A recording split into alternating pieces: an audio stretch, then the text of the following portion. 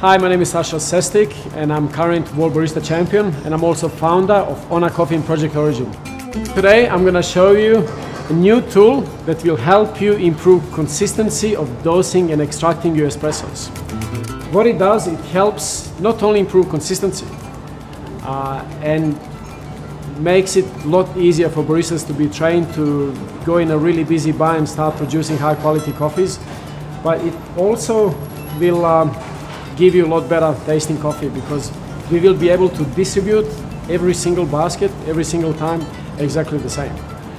And this will result in giving us a lot tastier coffees.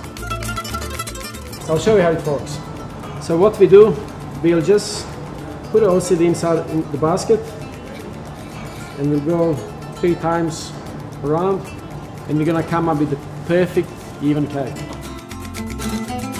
So what OCD is doing, it's actually not putting, uh, pushing the coffee grounds inside. All it's doing, as you can see, it's just allowing this coffee to go as even as possible throughout the basket.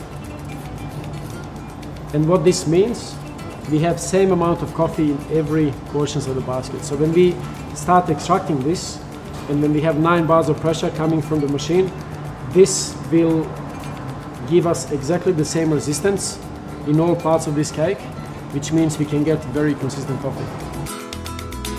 Having very consistent coffee, as we all know, it's a challenge. And this is, I guess, one step closer to give us that best consistency and as best possible tasty espresso as we can have.